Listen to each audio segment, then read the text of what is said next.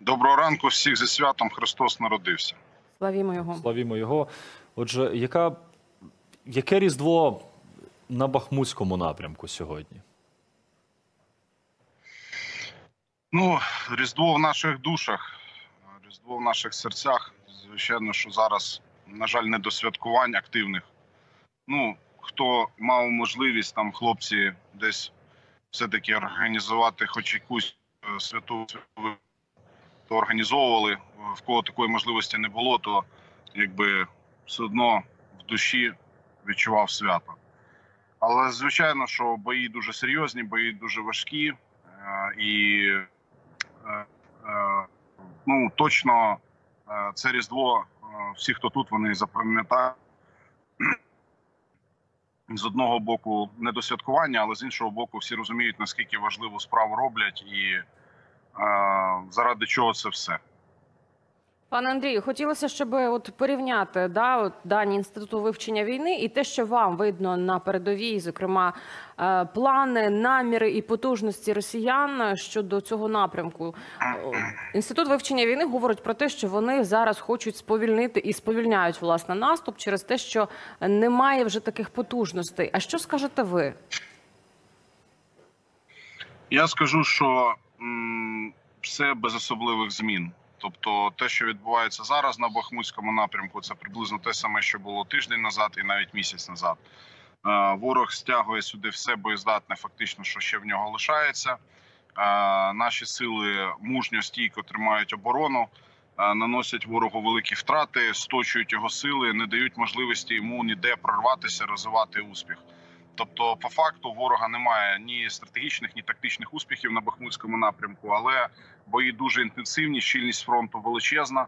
Е, І ну, честь і слава всім героям, які зараз знаходяться на Бахмутському напрямку, всім підрозділам, які зараз тут. Е, Я звичайно ж завжди говорю про наш підрозділ, про батальйон Свобода, про нашу четверту бригаду оперативного призначення Нацгвардії, але так само про всі підрозділи збройних сил, Нацгвардії, інших сил оборони, які зараз тут, тому що дійсно ну хлопці роблять величезну справу в дуже складних умовах під шаленим тиском ворога. Ворог скаженіє, ворог е, як поранений звір е, кидає всі сили е, з останніх сил, намагається щось прорвати, десь наступати. Але, попри дуже великий тиск, українські сили оборони тримаються. І битва за Бахмут, битва на Бахмутському напрямку, вона вже точно увійшла в історію цієї війни як одна з найславетніших сторінок. Е, І зараз ми бачимо, що і от навіть по даним цього інституту ворог вичерпує свої сили. Ворог вичерпує свої сили. Хоча, звичайно ж, до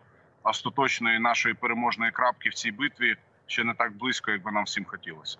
А ще хотіла би поточнити у вас Олексій Арестович, радник е, керівника офісу президента, говорить про те, що на Бахмутському напрямку вже помічали декілька разів е, окупантів, зокрема вагнерівців, які були абсолютно без нічого, навіть без касок. Чи можете ви підтвердити такі випадки? Я можу підтвердити, що є різні вагнерівці, тобто є вагнерівці, які використовуються як е, штурмові групи, і де власне є навчені професійні вбивці. А є вагнерівці зеки, яких мобілізували з російських зон.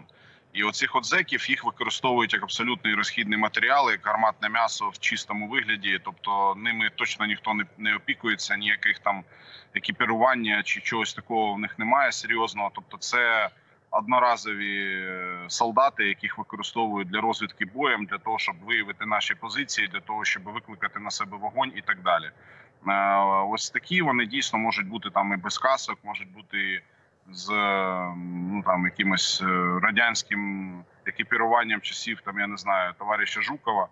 Е, От щось таке, звичайно, буває. Але не треба думати, що всі, хто тут зараз проти нас, це тільки от зеки, якісь там без касок і так далі. Є і професійні вбивці. І я завжди кажу: ворога треба ненавидіти, ворога треба знищувати.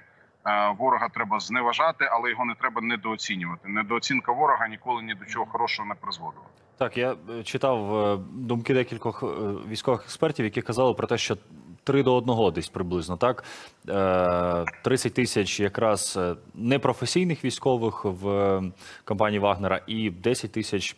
Це професійні. Пане Андрію, е, так вже збіглося, що святвечір припав на 10-й місяць повномасштабної війни. От впевнений, багато хто за столом згадували, як минув цей час. І давайте, власне, і ми зараз з вами згадаємо, що після початку е, повномасштабного вторгнення та стрімкої окупації частини територій з кінця березня. Настав час успіхів збройних сил України внаслідок методичних розгромів ворожих колон на підступах до столиці. До 1 квітня була звільнена Київська область. Згодом ворога вибили з Чернігівської та Сумської областей. У вересні була проведена операція зі звільнення Харківської області.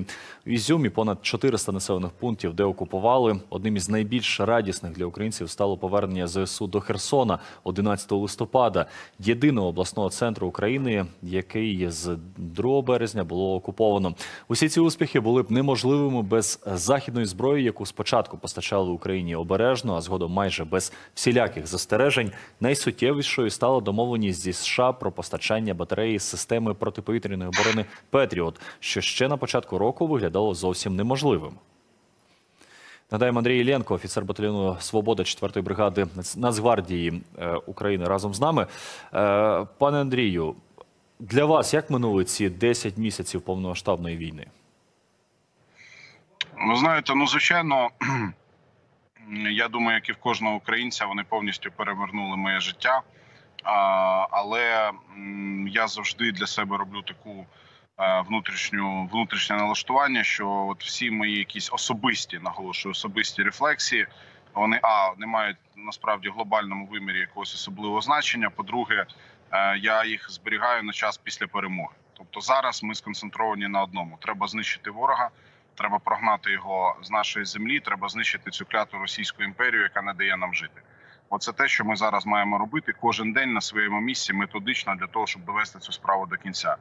А всі особисті якісь е, внутрішні переживання, думки, е, вони від них нікуди не дінешся, звичайно. Але все ж таки я для себе намагаюся їх стримувати і тримати вже до е, того часу, коли ми остаточно переможемо.